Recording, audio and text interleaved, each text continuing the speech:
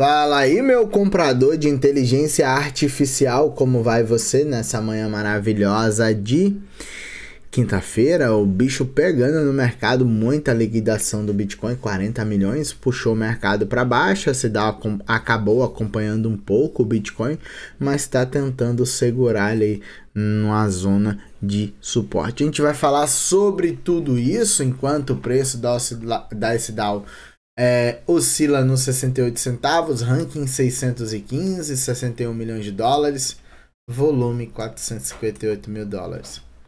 Eu falei 458 mil dólares, tá muito baixo. Então, pessoal, quando eu falo do volume, é sobre isso aí, tá? 458 mil dólares, tá vontade de chorar. Não chora não, Romário, tá bom, não vou chorar não. Então, pessoal, quando eu falo para vocês sobre o volume, quando vocês veem esse volume explodir aqui, vocês vão ver alta, brincadeiras à parte, pessoal. Eu também quero colocar vários caraminguás na SDAO aí. Tô procurando um ponto que me seja assim, é, que eu veja que dá para fazer aí mil por cento, tá? 66 aí eu vou tentar buscar um mil por cento de alta. Eu não comprei da outra vez, esse, essa queda do Bitcoin me deu meio que um susto, mas se ela vier aqui testar a média de 200 de novo, dessa vez eu vou colocar ela na carteira. Um valor aí que é dentro do meu gerenciamento de risco, obviamente, e vou tentar levar para longo prazo. Aí eu não quero saber o que, que vai acontecer nos próximos dias, meses, eu quero saber o que, que vai acontecer quando o Bitcoin bater o pico da out season. Fora isso, na, mais nada me interessa, tá? Então, se você gosta do meu conteúdo, aproveita, deixa o like e torne-se inscrito aqui do canal. Lembrando que nada que eu falo aqui é recomendação de compra ou de venda. Pessoal, pense em tornar-se membro do canal para ajudar o velho Raulmaro aqui que tá todos os dias trazendo vídeos para vocês, conteúdos, mercado, criptomoedas, essa bagaceira toda aí que a gente aproveita o dia todo. Olha só, pessoal, a gente tem aqui um padrãozinho que eu não gosto, tá? O mercado tá empurrando o preço aqui para baixo, mesmo vocês não vendo, isso aqui no 4 horas são fractais, ó.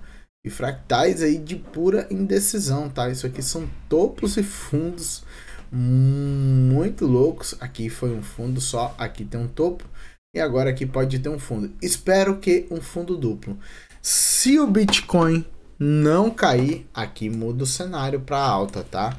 Mas precisaria que o Bitcoin não caísse. Essa é a realidade, o mercado está sendo pautado totalmente pelo Bitcoin e aí a gente tem que voltar para o gráfico semanal, porque dentro do gráfico semanal a SDAO marcou essa região aqui de extrema consolidação, que é o preço aí entre 1,44. Se você ajustar de fato, o preço é aqui, ó onde teve suportes e resistências no passado, onde ele rompeu para fazer o pivô de alta, e aqui a gente tem um dólar e 13 como a maior, é, um dólar e 13 não, eu vou marcar uma região para ficar mais fácil para vocês, que aí com região a gente trabalha o preço, tá? Essa região aqui, ó, da SDAO é a região onde os players trabalham o preço, ó. São a região de 18 centavos. Veja, toda vez que o preço foi acima dessa região, ele acelerou, porém devolveu tudo abaixo dela. Testou, voltou abaixo dela, testou aqui de novo, voltou abaixo dela no semanal. O semanal deu indícios de reversão. Agora basta saber como o Bitcoin vai trabalhar. Por quê? Porque na reversão a SDAO aponta para os 2 dólares. No semanal, ela já rompeu o topo. Só que esse candle pode se tornar num mega armadilha, tornar-se um trap, assim como foi este mesmo candle maior aqui. E aí o que, que estaria acontecendo?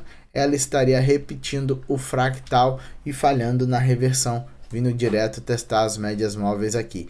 Essa região toda aqui é uma região bastante forte de suporte, é mais difícil do preço cair. Sem volume também é mais difícil do preço cair, ele vai mais devagar, porque se tivesse muito volume seria mais acelerado. Então a criptomoeda vai trabalhando mais devagar. O que, que eu recomendo para vocês que são investidores?